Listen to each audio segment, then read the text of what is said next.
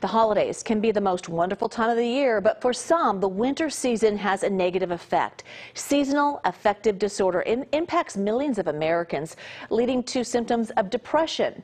Bradley Blackburn has more on what doctors say you can do about it. Every morning in the fall and winter, McGann Fellman starts the day with a cup of coffee and one very bright light. I just have it kind of at the side uh, while I'm having my breakfast, reading the paper. Fellman says she first experienced symptoms of depression more than 30 years ago, serious enough to require hospitalization.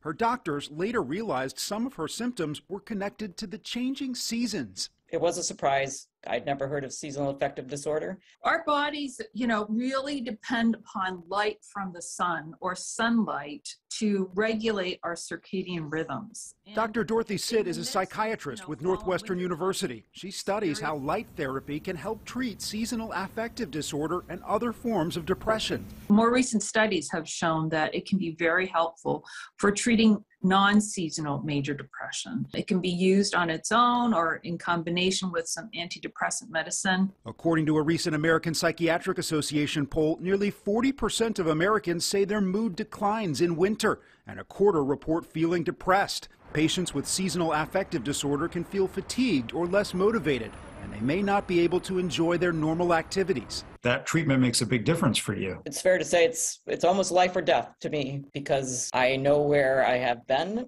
uh, without it in the winter. In addition to light therapy, Fellman takes antidepressants with higher doses from October through May. There are tools out there that can help people be happy, lead a normal life, and not feel alone. She wants others to know the winter blues are real, but help is out there.